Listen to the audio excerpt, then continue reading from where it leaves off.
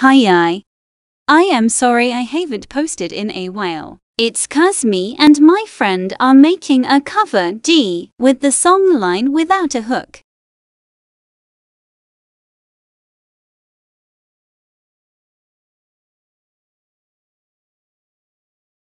D